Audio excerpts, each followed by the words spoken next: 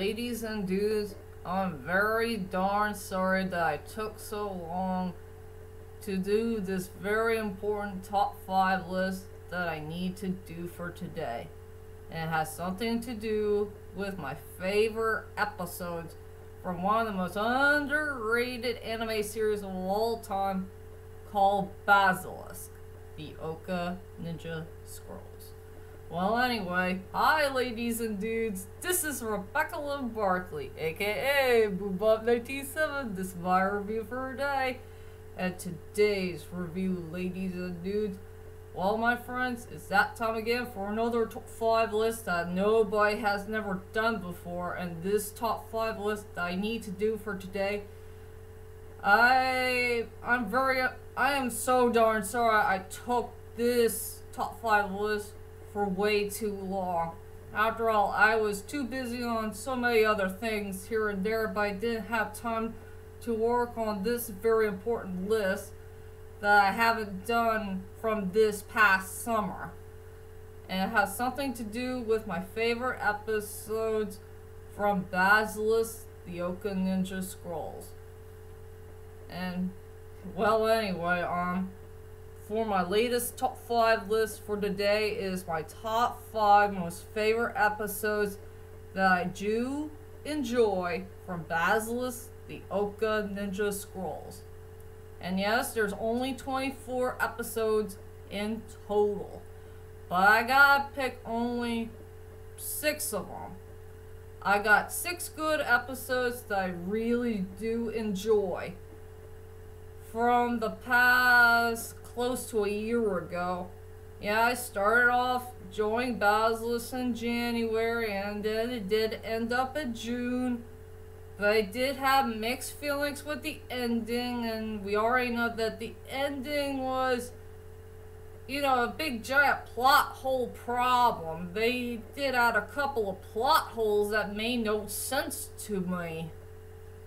I just wish they should have fixed the ending before they could wrap it up. You know, try to give it a little bit of a better ending. And maybe that way we could have a great conclusion.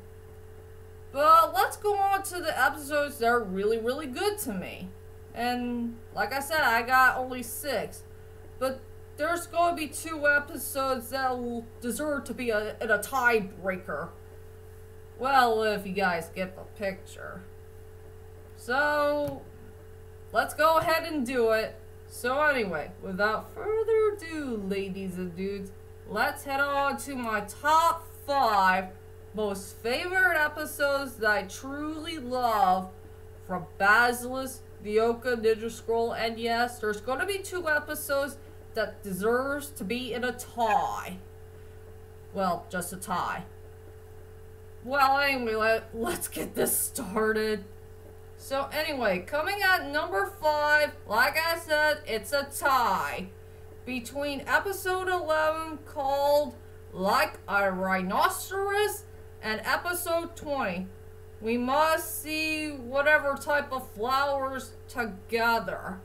The reason why I love both of those episodes is because of my two favorite characters in the whole wide world.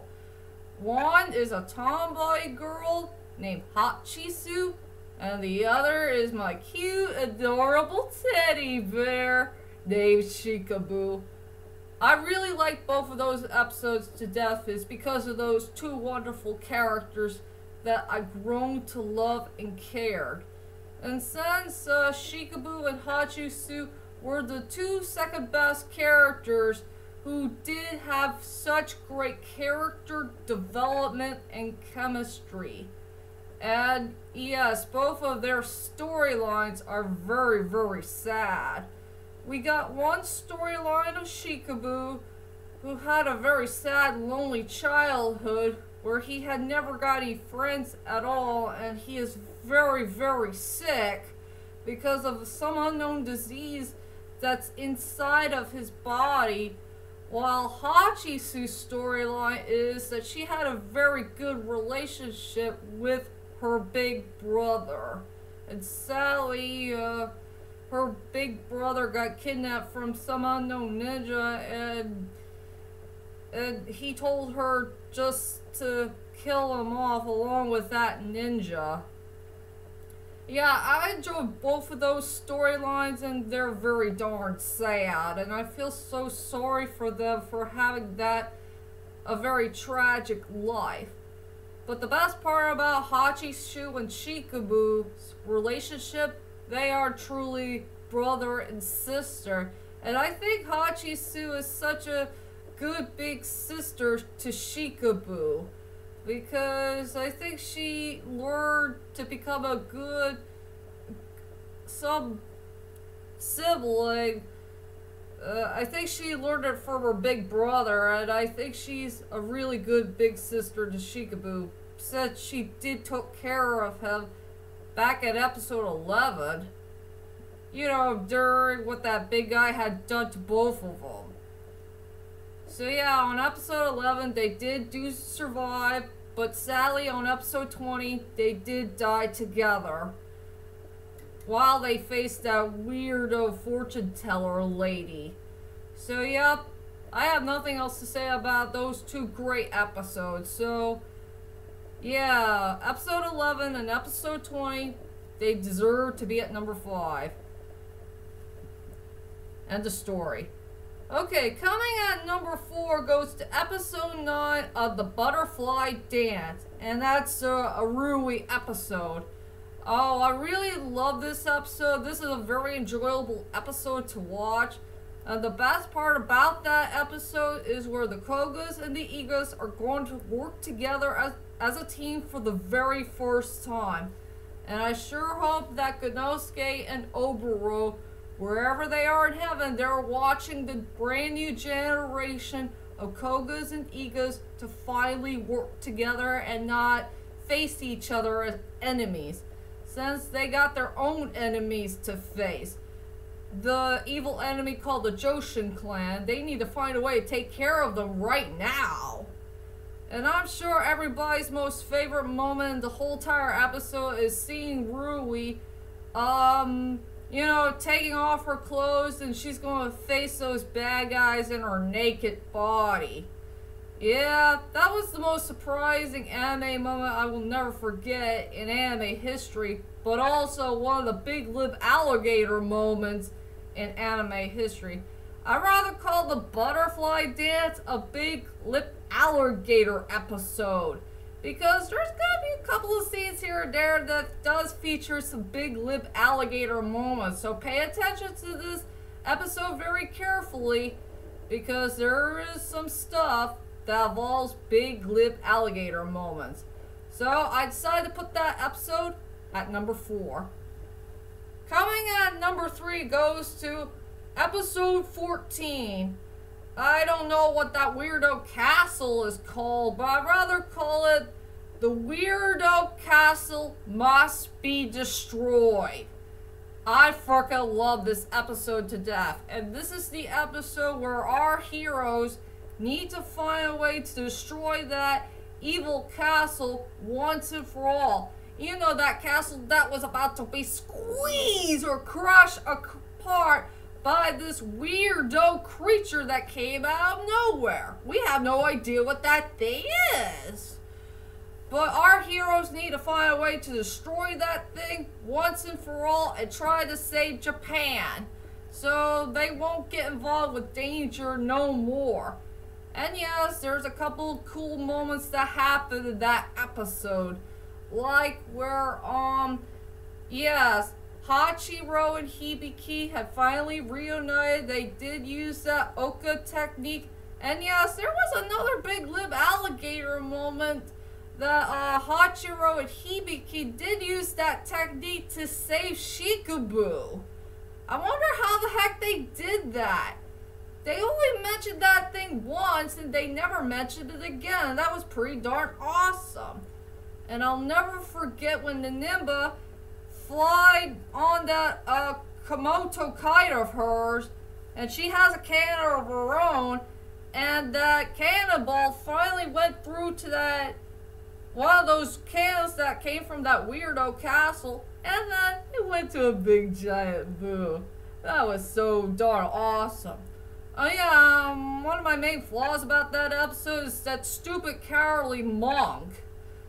That monk was such a coward that whole entire episode. He did he didn't fire our hero seriously. And that was pretty darn stupid. And he truly disrespect Hachiro Hibiki. They are very independent characters. You can't judge an independent character who wants to be on your side. So just leave them alone for goodness sakes. You're just a pure idiot. What the heck is wrong with you? Yeah, I hate that cowardly monk. He's just a stupid idiot. If you know what I mean. So that deserves to be at number three. Coming at number two is Tadanaga's Change of Heart. If I got that dude's name right, who is the uh the second grandson of Lord Ieyasu. Um, I freaking love this episode. This episode is also pure awesomeness.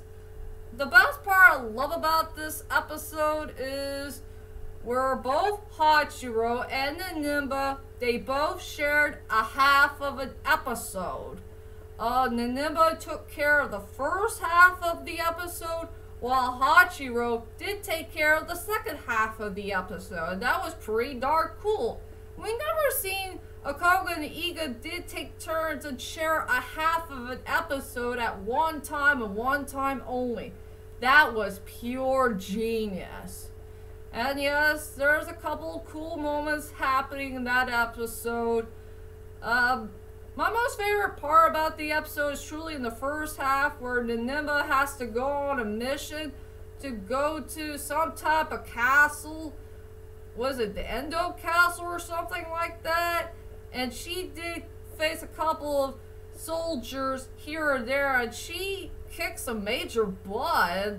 That was pure genius. I like the part where she used those strings with those uh, her weapons and she killed them off one at a time. That was so darn awesome. And yeah, Hachiro had a really cool moment at the end too, with Saizo's help. Well, check out episode 7 and you'll know what I'm talking about. So yeah, that deserves to be at number 2. And finally, my number one most favorite episode that I did do enjoy the best for Basilisk the Ouka Ninja Scroll. And this episode will always have a special place in my heart because this episode deserves to be the best of the best. And that is episode 6, where evil clouds began to stir. I love this episode to death. This is my most favorite episode of all time from this underrated anime series. I mean, it had a very well done storyline, beautiful animation, great epic scores. But I think my most favorite part about this episode that I love the best is the moments. There is so many great moments to be found from this very great episode. This episode deserves to have a 10 out of 10 rating for me. I mean, there's a lot of great moments to be found from start to finish. Yeah, just check out episode 6 and you'll know what I'm talking about. Something that really did blew me away big time.